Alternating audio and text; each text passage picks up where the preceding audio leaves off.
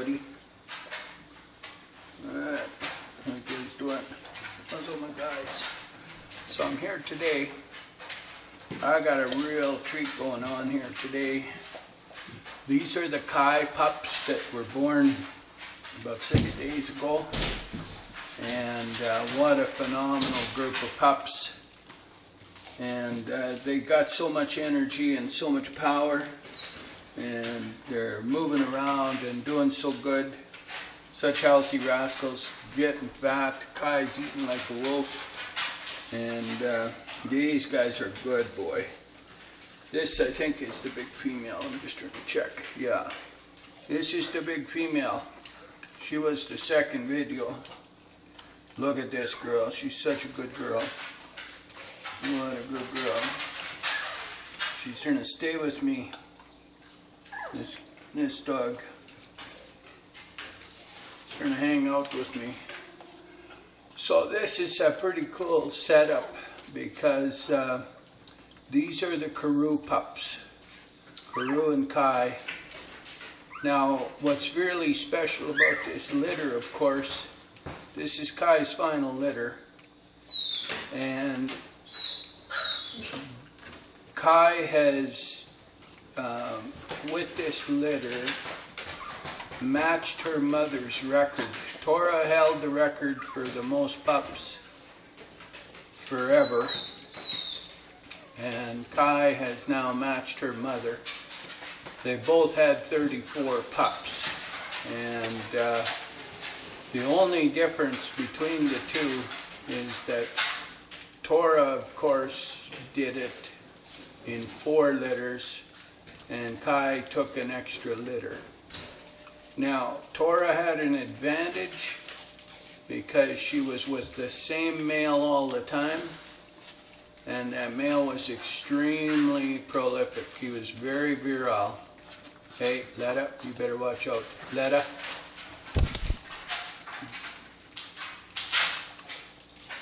Kai's other pup, Letta's right, right handy. Tora was right handy too, but I took her out. Have come and help Kai eat. But uh, this is an incredibly fertile line of dogs. And this whole lineage is fertile, and that's one of the uh, most fertile lines out of Norway is this lineage. It's very, very good. And of course, Kai is a granddaughter of Dakota. He's an extremely uh, prolific line of dogs as well. And it's uh, this female here will carry on for us. Kai will have will have will will stay and help me train these dogs, but uh, Letta will have a litter this this year, and she will have what's called the fifth generation in the yard. These are fourth, same as Letta, and so we'll have uh, we'll have all five generations walking around. It's kind of cool. These are hundreds of generations old, but uh, I got five right in the yard. You come by me, buddy. You come up here by me. Let's just see what this is, guy. Who's this guy? Is this a little male? Yeah, this is one of the little males here. Look at him. What a good boy. What a good boy. You're a good boy. That's a good boy. Hang on. So yeah, we're in isolation up here. Obviously, everybody in the world pretty much is in isolation. And so we're just uh, keeping track of everything, not going in, not going out, and uh, really watching what's happening. Now, it's kind of funny because Tora, she grabbed a hold of my arm yesterday and she she put a pretty good hold on her too, and she gave a little shake, and I still got teeth marks there. I had told her that because of the slow down and the border shut down and transports everything, I said I might have to ration her food. she gets a hold of this just like this, gives it a little shake, growls a little bit, says, I think you can ration somebody else. She says, that was pretty funny. So then Ella, she says, well, I can help.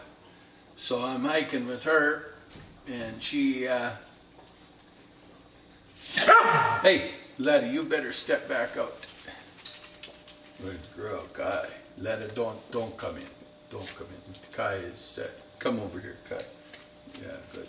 Let us stay. No, let it out. Good. Good. That's a good job, Kai. Let it stay out. Don't come in. So Ella, she says, well, I'll help.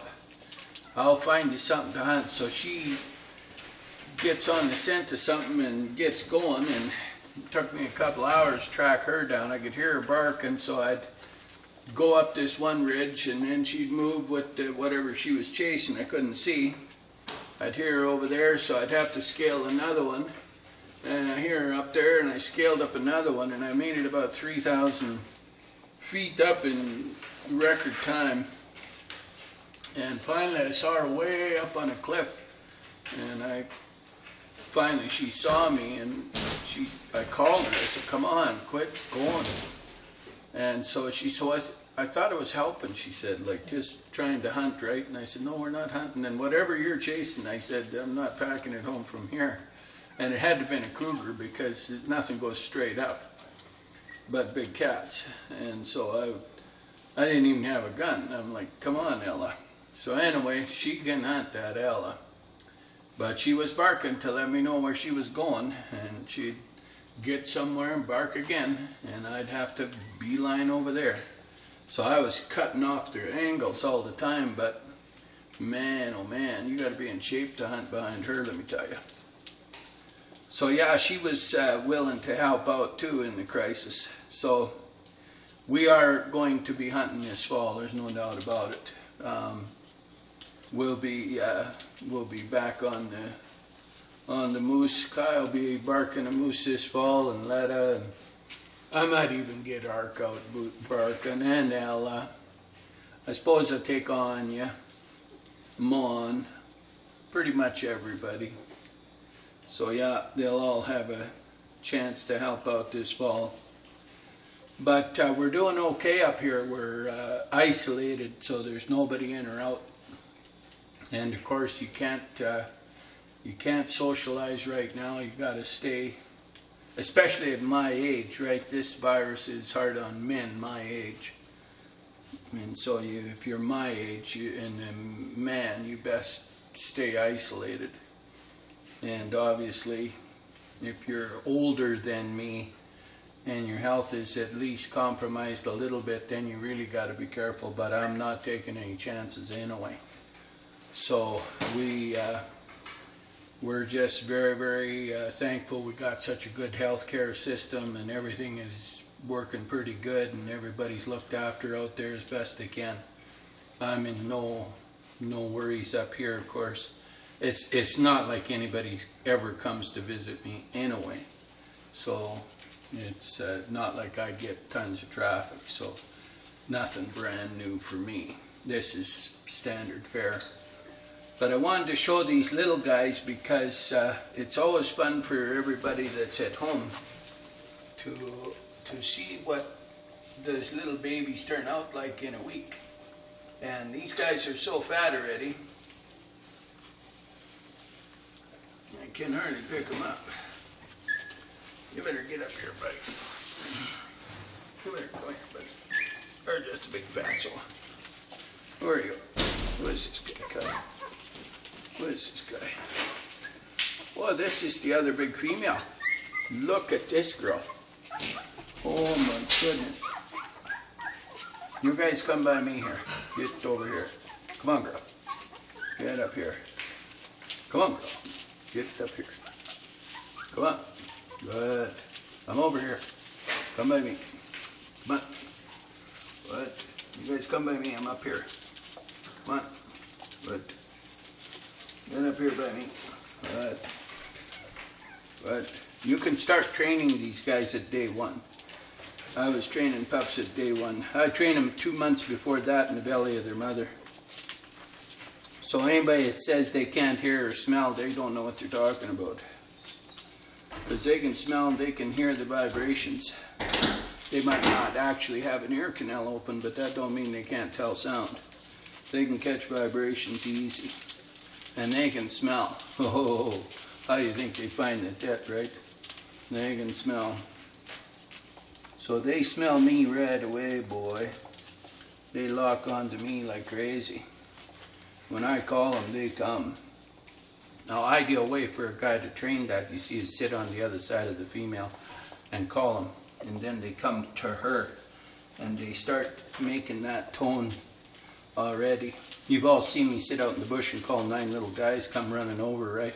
Well, it's not magic, it's just repetition. This is how you do it, right? Sit right here, call them guys over when they're coming. Because they're obviously coming. It's kind of like training sit. Just while he's sitting, go sit. Because he's sitting anyway. So you just go like that, right? Who's this guy? Who's this big rascal? This has got to be one of the big boys. This is the big crew boy. Look at this guy. Holy cow. What a good boy. What a good boy. Oh my goodness two females. Rest are males. This is a hunter. Pure Norway dog, this guy. Look at this. Oh my goodness. What a hunter. Guy, this is a hunting machine, this guy. So, the genetic superiority of the hunt lines in this particular pup right here are so profound, that it's not even funny.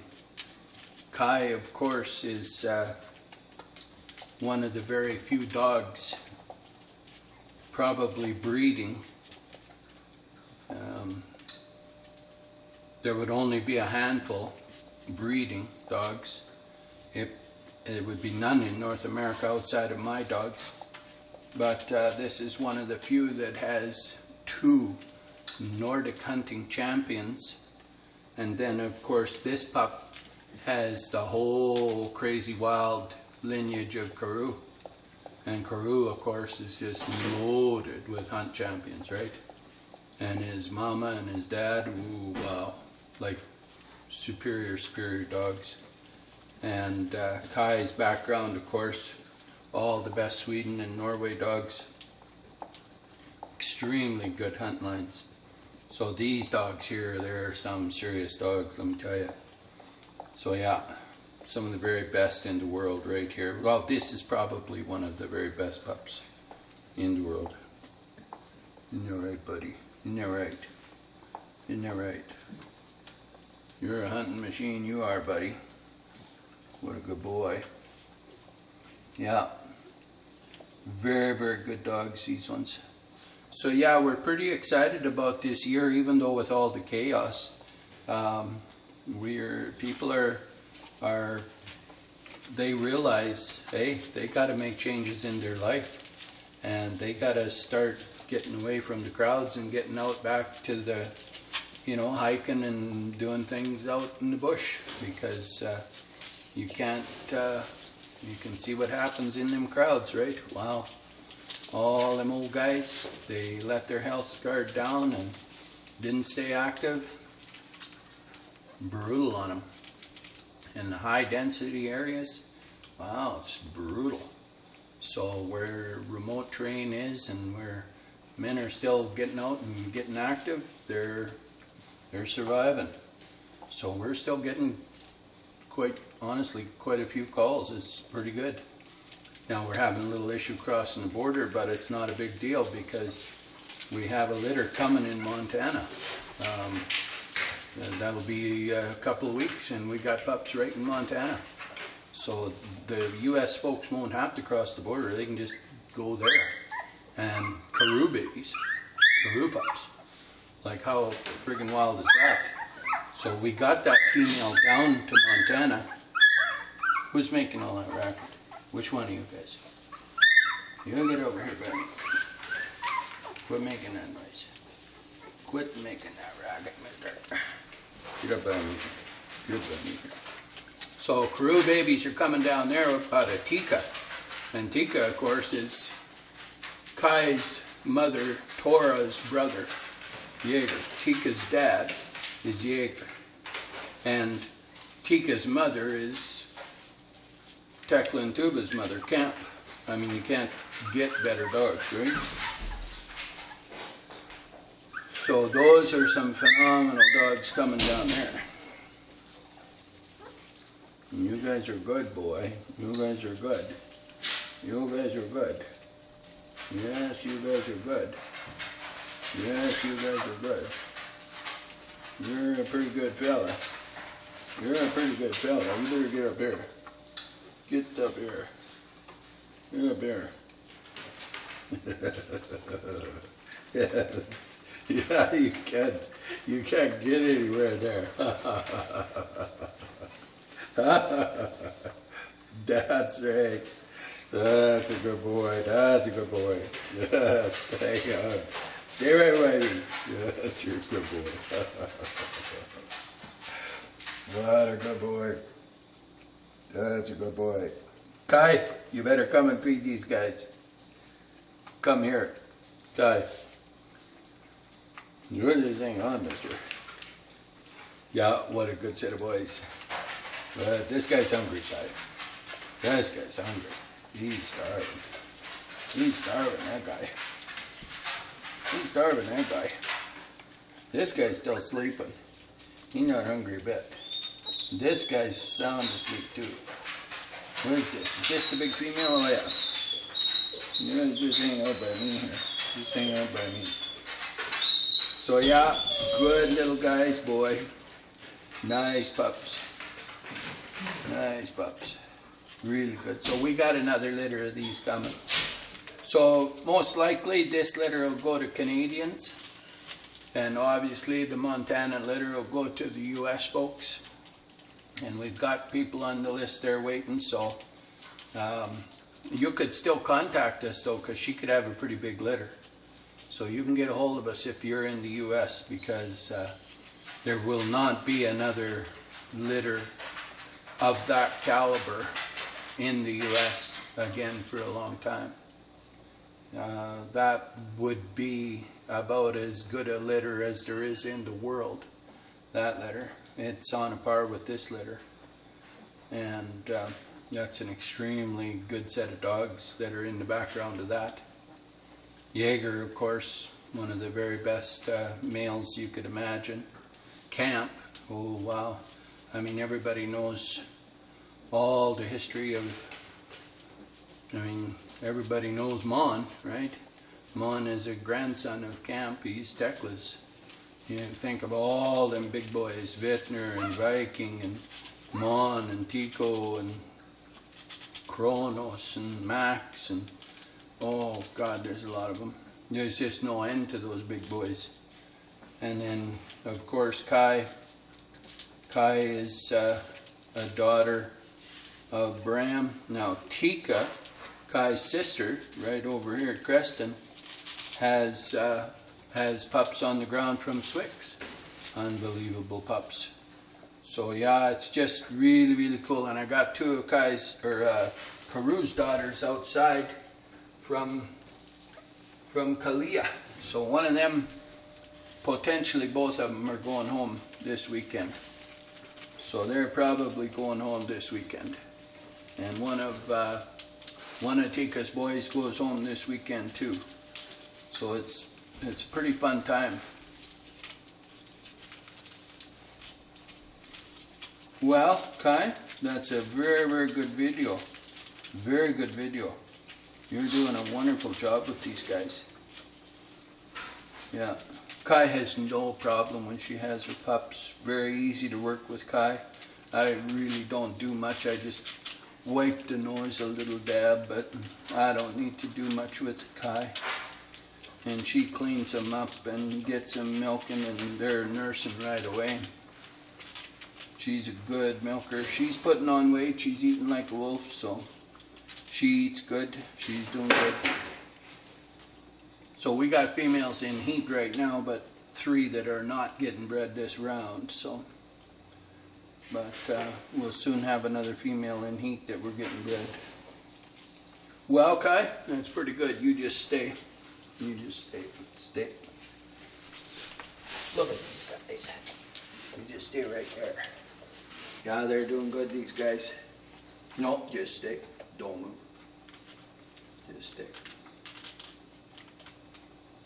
Yeah, that's a good group of pups, boy.